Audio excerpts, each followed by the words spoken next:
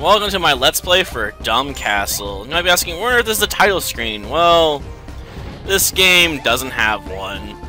It was created as part of um, Retromania celebrating RPGmaker.net's 10th birthday, and it was thrown together in a hurry. You can really tell, because this game just doesn't have much going for it. It's got whopping three stages.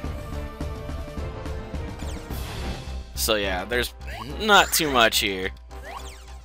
How do my points just hit zero? It's because I collected the bag? Weird. I'm not, huh? Huh. Whatever.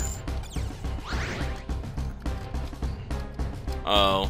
You lose points for killing enemies? Strange.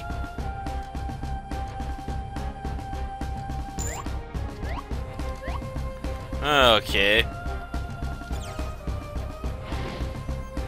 Come on.